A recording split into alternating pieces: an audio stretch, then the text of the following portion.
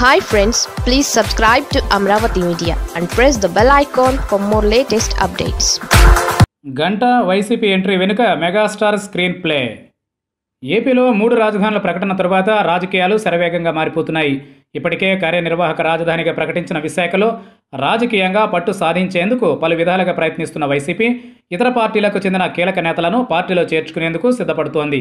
ఇదే క్రమంలో విశాఖ రాజకీయాల్లో కీలకమైన నేత మాజీ మంత్రి గంటా శ్రీనివాసరావును ఆగస్టు తొమ్మిదిన వైసీపీలోకి చేర్చుకునేందుకు ముహూర్తం ఖరారైనట్లు తెలుస్తోంది. గంటాతో పాటు పలువురు టీడీపీ మాజీలు కూడా వైసీపీ కండువా కప్పుకుంటారని తెలుస్తోంది. మాజీ మంత్రి టీడీపీ ఎమ్మెల్యే గంటా శ్రీనివాసరావు వైసీపీలో చేరికకు ముహూర్తం ఖరారైంది. తొలుత ఆగస్టు పదిహేనున ఆయన వైసీపీలో చేరతారని భావించినా తాజాగా ఇది ఆగస్టు తొమ్మిదికి మారినట్లు తెలుస్తోంది.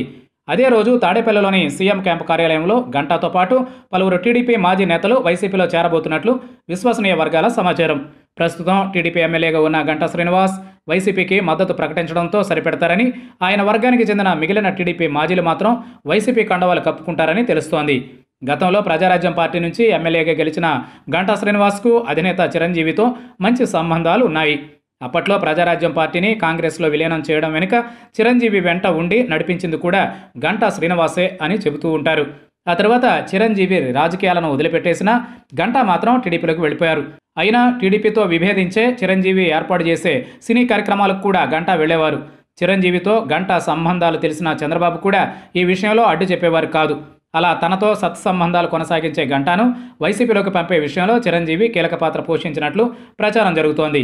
గతంలో జగన్తో భేటీ సందర్భంగా గంటా ఎంట్రీకి జగన్ సూత్రప్రాయ అంగీకారం తెలిపినట్లు ప్రచారం జరిగింది. ఆ తర్వాత పార్టీలో మరో కీలక నేత సజ్జల కూడా గంటాకు మద్దతునివ్వడంతో ఆయన ఎంట్రీ కన్ఫామ్ అయినట్లు తెలుస్తోంది.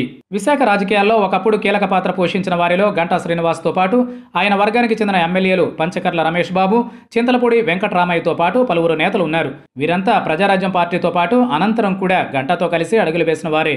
ఇదే గ్రూపులో ఉన్న అవంతి శ్రీనివాస్ ఆ తర్వాత గంటాకు టాటా చెప్పేసిన మిగతా వారు మాత్రం ఇంకా ఆయనతో సత్సంబంధాలు కలిగి ఉన్నారు.